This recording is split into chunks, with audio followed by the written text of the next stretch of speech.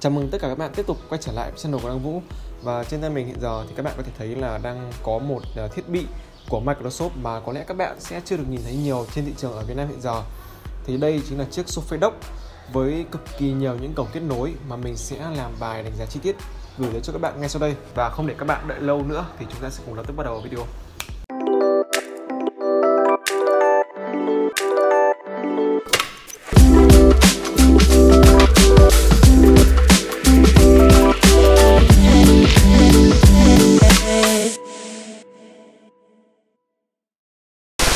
Chúng ta sẽ nói tới ngoại hình của chiếc Survey Dock này. Thì như các bạn có thể thấy đây thì nó có hình dạng là hình hộp chữ nhật Với các kích thước lần lượt là dài 130mm, rộng 60mm và chiều cao của nó là 30mm Tiếp theo là tới màu sắc.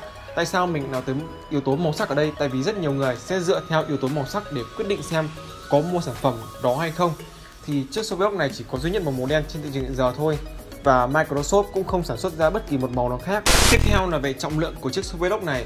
Chiếc Sovelock này nặng tới 550g, khá là nặng so với một thiết bị chỉ để ờ, có chức năng là cổng chuyển đổi.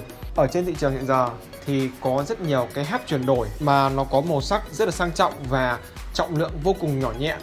Nhưng công dụng của chiếc Sovelock này nó còn vượt xa so với chỉ đơn thuần là các cái cổng chuyển đổi như thế này mình sẽ nói chi tiết ở ngay sau đây nhé về các thông số nguồn điện vào và ra của chiếc Surface Dock này, thì sản phẩm này có nguồn điện vào yêu cầu là 15V 6A và nguồn điện ra của nó là 15V 4A với nguồn điện này thì nó tương thích với hầu hết những thiết bị sofa trên thị trường hiện giờ. Từ những thiết bị sofa nhỏ gọn và tiêu thụ ít nguồn điện như chiếc sofa Go, tới những thiết bị cần nhiều nguồn điện để nuôi chiếc cạc màn hình giờ như chiếc Surface Book 2 với nguồn điện này thì nó có thể sạc nhanh cho những thiết bị mới ra gần đây ví dụ như Surface Pro 7 này, Surface Laptop 3 này. Và nó cũng có thể sạc ổn định được cho những thiết bị Surface đời cũ hơn như Surface Pro 456 hoặc Surface Book, Surface Laptop, Surface Go. Nó đều có thể uh, đáp ứng được hết. Từ đó thì anh em có thể thấy được khả năng tương thích của chiếc Surface Dock này thì thực sự là rất là tốt.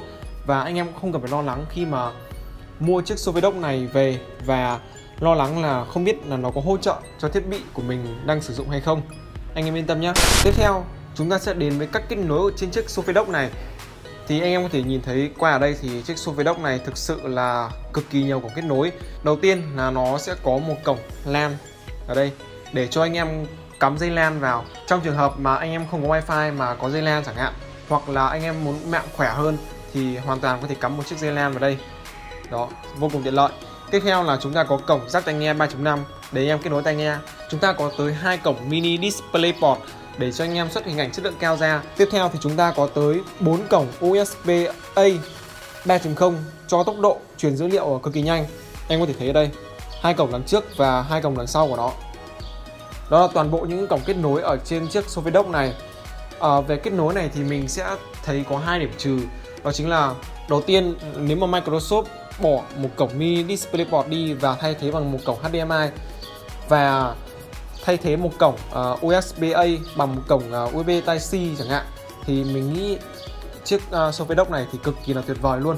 Tuy nhiên sản phẩm này cũng đã ra mắt một thời gian trước đó rồi cho nên là wow, với lại trên những thiết bị uh, Surface uh, đời mới hiện giờ ấy thì Microsoft đã trang bị cho nó những cái cổng tai C rồi cho nên là chúng ta cũng không cần phải lo lắng quá.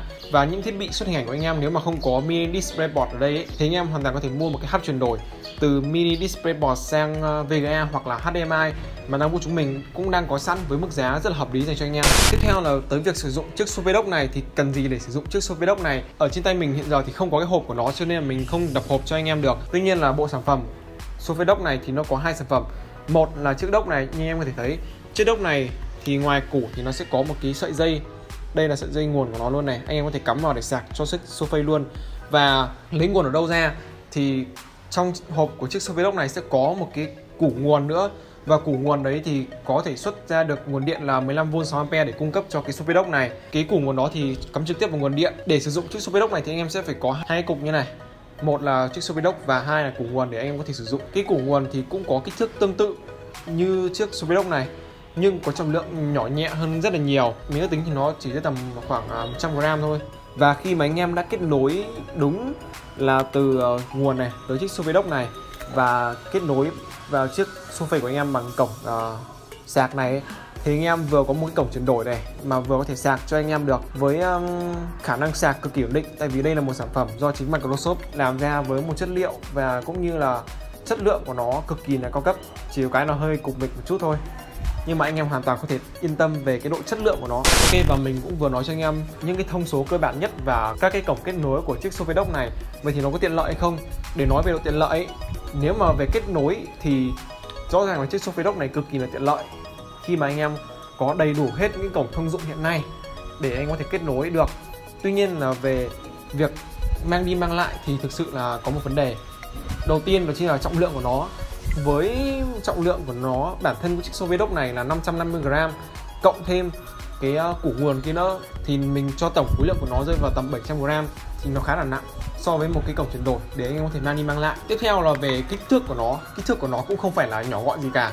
Khi anh em để vào một cái túi chống sốc bé của sofa thì không thể nào nhét vừa được vừa một cái, à, cái đốc này mà vừa một củ nguồn. Anh em chỉ có thể nhét vừa được một cái thôi và như thế thì không thể sử dụng được để mà sử dụng chiếc sofa Dock này mà mang đi cùng với chiếc củ quần của anh em ấy, thì anh em cần phải một chiếc ba lô to hơn. Mình thấy là cái sofa Dock này phù hợp với anh em làm việc ở một chỗ thôi. Anh em cứ cắm ở chỗ làm sau đó vác chiếc sofa đi gặp khách hàng chẳng hạn. Sau đó thì về lại cắm và sử dụng như bình thường. Khi anh em đi gặp khách hàng ấy thì đơn giản chỉ là cầm theo một cái hấp nhỏ thôi để có thể chuyển đổi được. Mình tin là với một khả năng uh, pin của sofa hiện giờ cũng khá là tốt rồi thì anh em ra ngoài không cần phải nguồn lắm. Và những cái hub chuyển đổi nhỏ như vậy thì năng vũ của chúng mình cũng đang có sẵn rất là nhiều. Anh em uh, có thể tham khảo qua nhá. Mình sẽ để uh, đường link ở phía dưới. Tiếp theo thì nói về mức giá của chiếc Soviet này. Thì các bạn có thể lên mạng search ngay ra được là chiếc Soviet này ở trên trang chủ Microsoft có giá niêm yết là 200 đô. Và ở đăng của chúng mình thì có một mức giá hợp lý hơn cực kỳ nhiều vẫn là một sản phẩm chính hãng tới từ Microsoft. Và khi bỏ ra một số tiền như vậy anh em nhận được những gì? Đó chính là một thiết bị có chất lượng cực kỳ là đảm bảo không giống như những chiếc uh, cổng chuyển đổi trôi nổi trên thị trường hiện giờ.